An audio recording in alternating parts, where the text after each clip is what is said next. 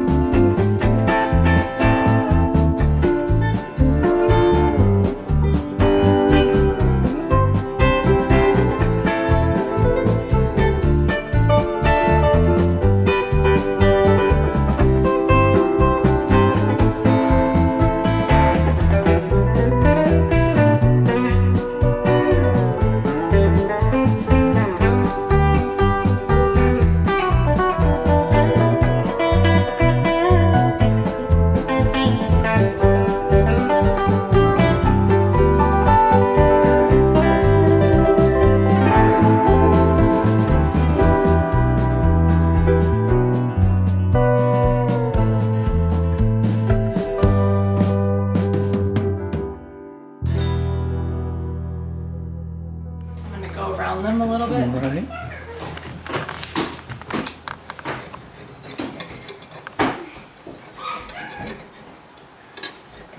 pop them out. Because that's what my mama always did.